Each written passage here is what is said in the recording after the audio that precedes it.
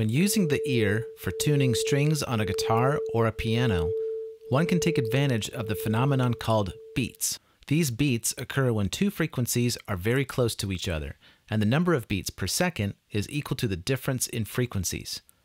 The closer the frequencies are to each other, the less beats one will hear. And what is being heard are the rise and fall of sound corresponding to when the vibrations add constructively, which is an increase in sound, or destructively, which is a decrease in sound. Let's consider two sine waves and their graphs. The first sine wave has frequency 444 Hz. This is in blue, and the second sine wave will have frequency 445 Hz. That will be in green. The motion of the green graph is essentially showing you how once every second the 445 Hz sine wave catches up to the 444 Hz sine wave.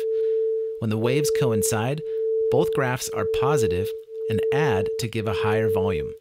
However, one half second after this, the waves are at odds, meaning one is positive and the other is negative, and the volume decreases to zero.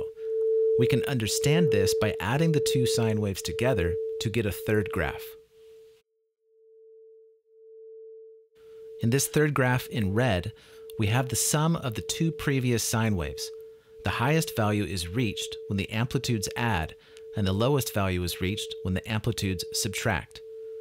You can do this with any sine waves, so let's look at another pair using the graphing calculator Desmos.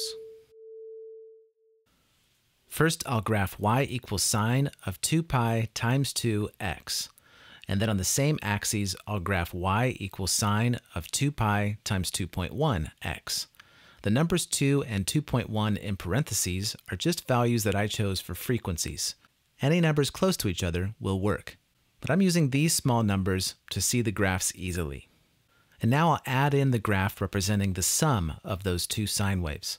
Since the two individual waves have an amplitude of 1, the sum has a highest point of y equal 2, which is 1 plus 1. Furthermore, the difference in the individual frequencies is 2.1 minus 2, which is 0.1.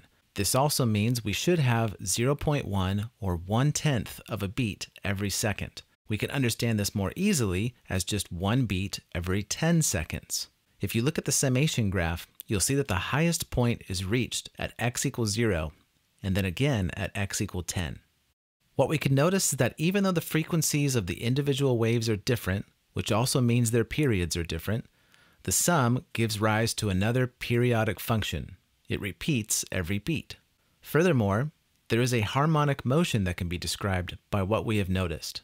If these two waves act individually on a particle from perpendicular directions, the point will move in the xy plane. Using our oscilloscope from before, we can make the x coordinate take on the voltages from the 444 Hz sine wave and the y coordinate take on the voltages from the 445 Hz sine wave. What we get is a graph that looks like a circle spinning in three dimensions.